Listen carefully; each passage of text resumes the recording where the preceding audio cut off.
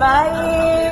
Manda Manopo pemain sinetron Ikatan Cinta sebut terima banyak hujatan netizen. Kayaknya udah hatam, dilansir dari pikiran rakyat tasikmalaya.com. Pemain sinetron Ikatan Cinta Amanda Manopo mengungkapkan bahwa dirinya sering mendapat hujatan dari netizen. Amanda Manopo merupakan salah satu tokoh utama di sinetron Ikatan Cinta. Saat ini sinetron Ikatan Cinta sedang naik daun, otomatis Amanda Manopo menjadi sorotan netizen bersama pemain lainnya. Sinetron Ikatan Cinta ini kan banyak yang suka, banyak yang nonton, kata Amanda Manopo.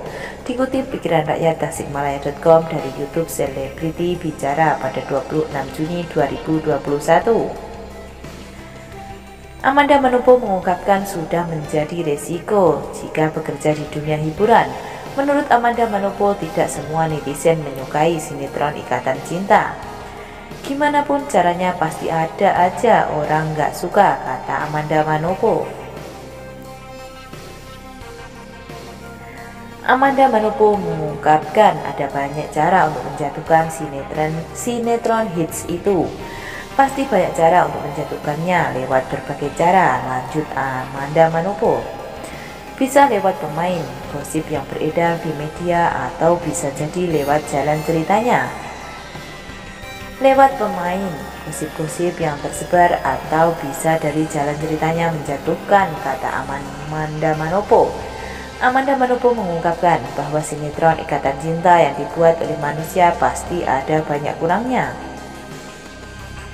Kita mungkin, Pak, kita manusia pasti pernah berbuat salah, Mungkin kalau dari jalan cerita, pemain lain gosip aku udah khatam kali ya, tutur Amanda Manopo. Menanggapi berita miring seputar sinetron yang dibintanginya, Amanda Manopo mengaku tidak ambil pusing.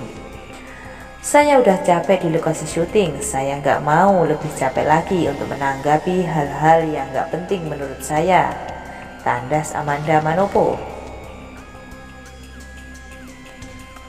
Amanda Manopo saat ini diketahui memerankan Andin dalam sinetron Ikatan Cinta.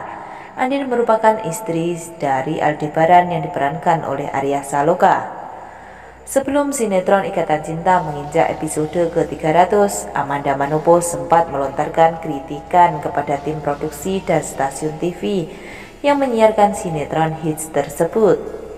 Hal tersebut bermula dari netizen yang protes karena alur cerita sinetron yang berbelit-belit ditambah kejahatan Elsa yang belum terungkap.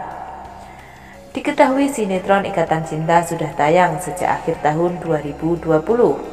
Selain Amanda Manopo, sinetron Ikatan Cinta juga dibintangi oleh Arya Saloka, Glensa Grisara, dan Evan Sanders.